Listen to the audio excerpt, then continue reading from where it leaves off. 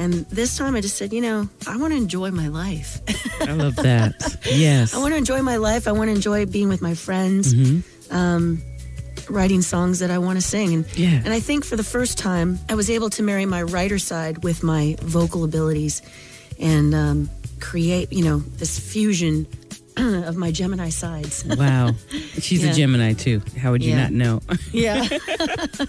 I love that you just poured your soul into this record.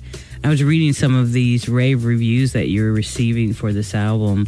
You have such soul, such Oh, heart and soul. Now, uh, where did all this soul come from? Who who influences you musically that makes you growl like that? Yeah, I, uh, I grew up in a household where my entire family loves music. So they're all blasting, you know, their own Mm-hmm. Yeah. music in various corners of the house. Mm-hmm. And um, my mom was really into Elvis and the Beatles. Yeah. My dad was into Aretha Franklin, Otis Redding, Jackie Wilson, Otis. Mahalia Jackson. Yeah.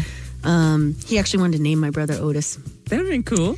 And then my my brother was into the rock and roll, so he was cranking the Doobie Brothers, Pink Floyd. Wow, eclectic Um, household. Yeah, um, and then I played sax, so I was listening to Charlie Parker, and yet I was also cranking ACDC. And um, my sister's the only one that didn't really inherit the uh, the, the taste factor in the music, but she's getting better. she's gonna whoop me when she hears this.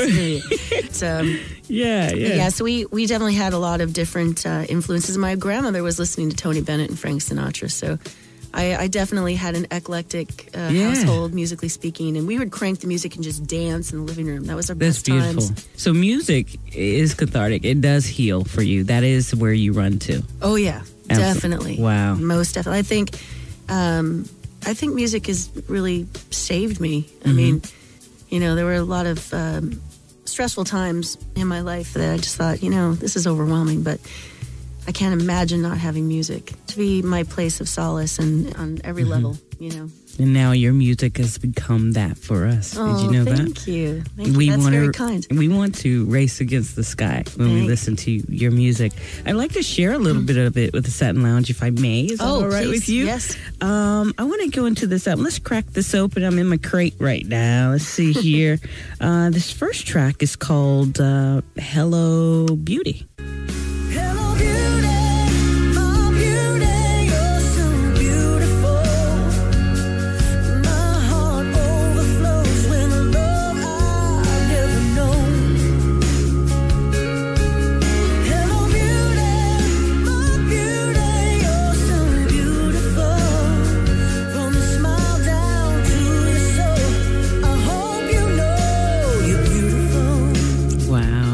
Dedicating that to you, Satin Lounge. Just beautiful. I love that song. Who are you specifically talking to in this record?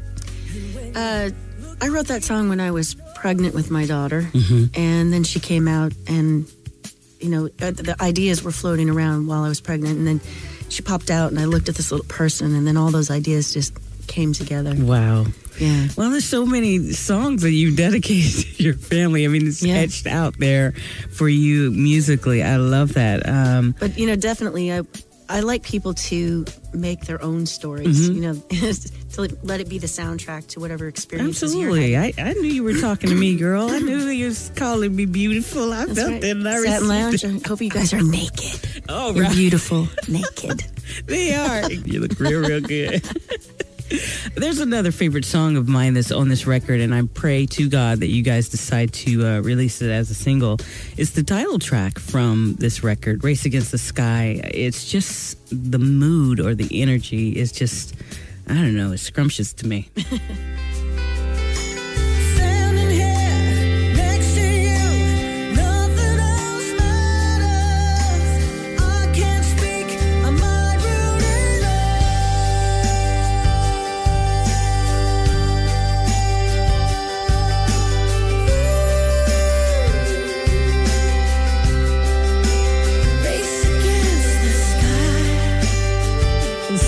so gorgeous. Oh, Kelly, Kelly, Kelly.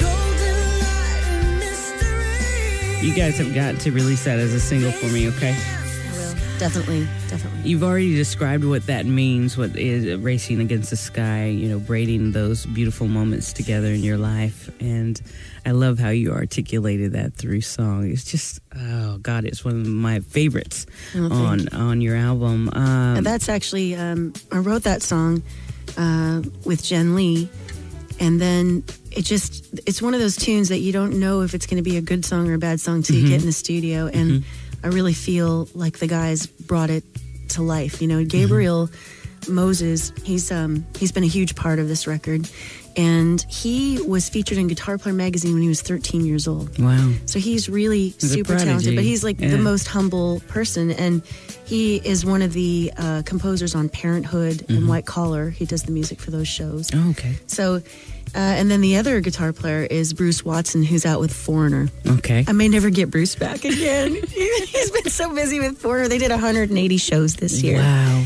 Um, I have Herman Matthews from Tower Power on drums, who just has a thing, you know? Mm-hmm. Yeah.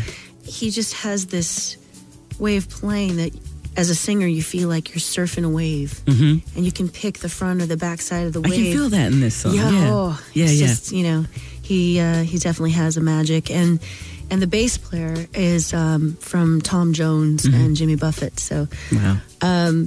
And then on a lot of the record, we had Lenny Castro. He came in and played percussion. He, Mm-hmm. He's been with the Rolling Stones for many years, and Tom Petty. Star studded. Come on. Wow. Yeah, and then I had all my friends show up to be the choir on Bang a Drum, wow. and yeah, it was a it was a drunken night of of uh, caterwauling. It was really fun. had a few glasses of wine and ate some food and went in there, and everybody sang beautifully.